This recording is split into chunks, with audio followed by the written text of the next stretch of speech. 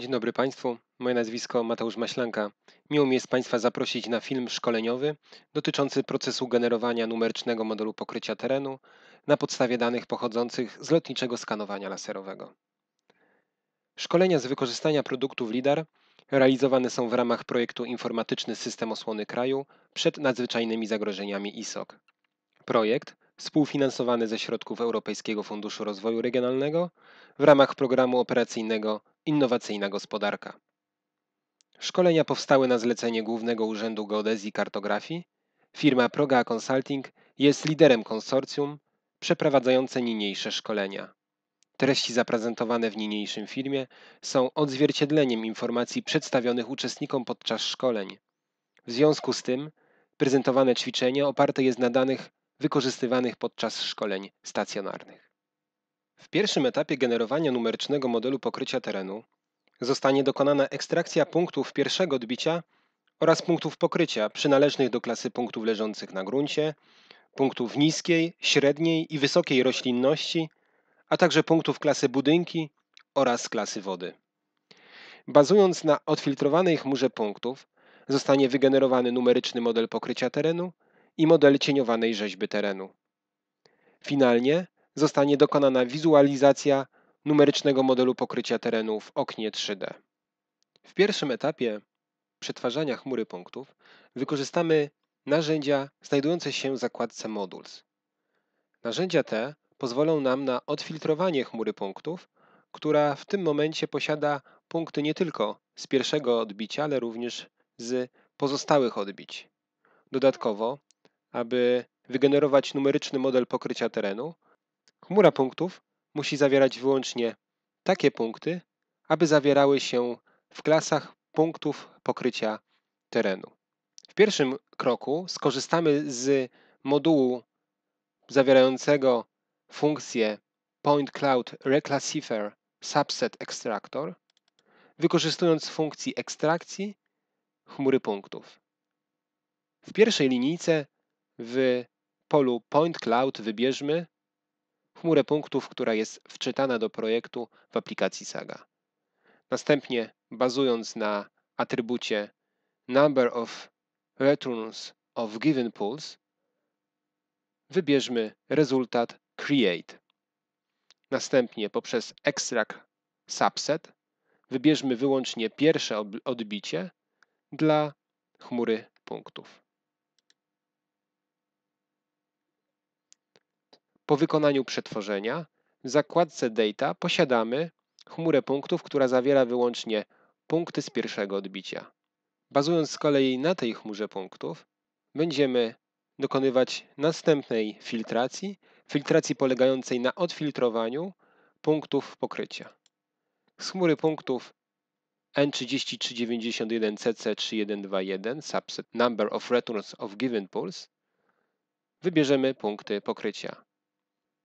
Bazując na narzędziach dostępnych w zakładce Modules, Shape, Point Cloud, Point Cloud Reclassifier Subset Extractor, będziemy mogli wybrać klasy, które będą obrazowały klasy pokrycia terenu. Wybierzmy chmurę, która ma odfiltrowane pierwsze odbicie. Następnie, korzystając z atrybutu klasyfikacji, i tworząc nową chmurę punktów, odfiltrujemy chmurę punktów tak, że w Simple Table wypełnimy poszczególne atrybuty. Chmura punktów, która jest sklasyfikowana między klasą drugą a szóstą, przynależy do punktów pokrycia oraz klasa dziewiąta, a więc wody, przynależą również do tej klasy. W takim razie po ustawieniu właściwych parametrów punktów pokrycia, możemy kliknąć OK i dzięki temu otrzymaliśmy chmurę punktów zawierającą wyłącznie punkty z pierwszego odbicia oraz punkty pokrycia. Kliknijmy i otwórzmy tą warstwę poprzez Add Layer to Selected Map. Chmura ta posiada wyłącznie punkty z pierwszego odbicia oraz punkty klasyfikacji. Kolejnym krokiem aby wygenerować numeryczny model pokrycia terenu, jest skorzystanie z funkcji pozwalającej na generowanie z chmury punktów rastrowych modeli wysokościowych. Funkcją tą jest funkcja Point Cloud to Grid. Bazując na chmurze punktów odfiltrowanej, wykonajmy eksport, wybierając jako output only Z, aggregation high Z, natomiast cell size o rozmiarze 1. Po wyborze takich parametrów możemy kliknąć OK i otworzyć wygenerowany raster w widoku mapy poprzez dwukrotnie kliknięcie w zakładce Data wygenerowanego rastra. Kliknijmy New i wygenerowany raster już jest dostępny w widoku mapy.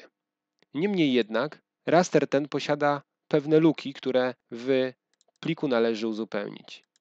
Te luki można uzupełnić wykorzystując narzędzie Close Gap dostępne w zakładce Grid Tools Close Gaps. Wybierzmy właściwy układ. Następnie grid, który został przed chwileczką wygenerowany. Te parametry nie zmieniamy i klikamy OK. W oknie mapy został wygenerowany raster, który luk już nie zawiera. Na bazie tego rastra zostanie wykonany hillshade, korzystając z funkcji dostępnej w grupie narzędzi Terrain Analysis Lighting Visibility. Skorzystamy z Analytical Hill Shading. Wybierzemy jako Elevation raster wygenerowany z chmury punktów i kliknijmy OK. Po wykonaniu tego rastra w zakładce Data również posiadamy Analytical Hill Shading. Hill Shade może zostać wyświetlony poprzez dwukrotnie kliknięcie i zwizualizowany w oknie 2D. Oprócz wizualizacji danych rastrowych w oknie 2D dane można te wizualizować w oknie 3D. Jeżeli chcielibyśmy wizualizować model rastrowy w oknie 3D, wystarczy kliknąć w narzędzie Show 3D View, wybrać Grid System oraz raster obrazujący wartość wysokości, ustawiając parametry Exaggeration na poziomie 3 oraz Resolution na poziomie 1500. Po wykonaniu tego typu zadania kliknijmy OK i raster będzie zwizualizowany w oknie 3D aplikacji Saga.